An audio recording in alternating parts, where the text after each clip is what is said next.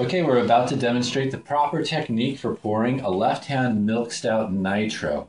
A couple of these beauties went to waste at a recent party because it does have the instructions on how to pour on it, but people just were so unaccustomed to it. So here it goes.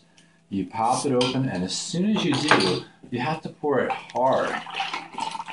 Just like that. And it seems like it's going to overflow, but it's just perfect.